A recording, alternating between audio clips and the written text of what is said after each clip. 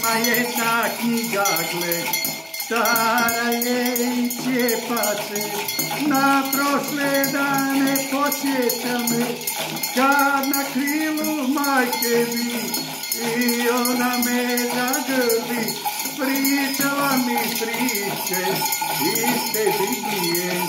O, moja Biblio, oko moje da te posmatra, dragi strada si mi svaki dan, jer je tvoj put sudan, ti me vodiš, mome Bogu nebeskom.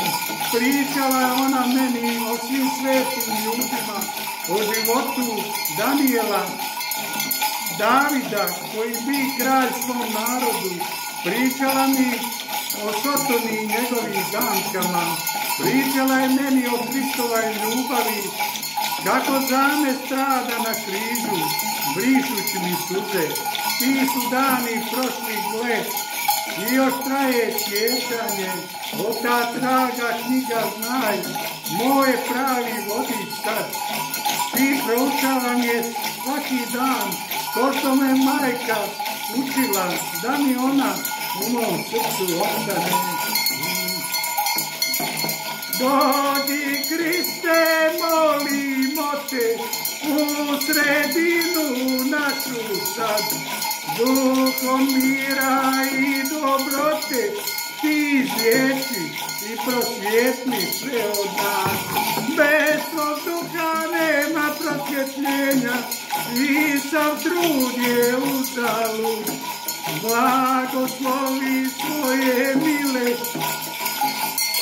nagradi njihov trud. Hristo hran je dio neba, vrata raja srcu mom. Mjesto mira i blaženstva, najdraže na svijetu tom. U tvom hramu pjevam pjesme, Hriste koje voliš ti. I pred tvojim svetim licem klanjam se u molitvi. O da mogu tvom hramu da ti pjevam noć i dan. Dok ne dođeš da me uzmeš u nebeski zlatni grad. Zlatni grad Isusom, slavom ti preputi. Bolesnom ranjenom srcu ljekovi. Zlatni grade Isusom, žuri se u tvoj dom. O tebi tu pjevani misli, o blaženom miru tom. Dugo za tobom čeznem, moj zlatni grade.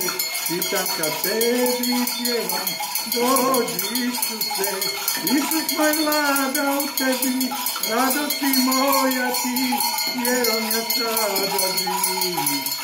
glory, Christ of Jesus.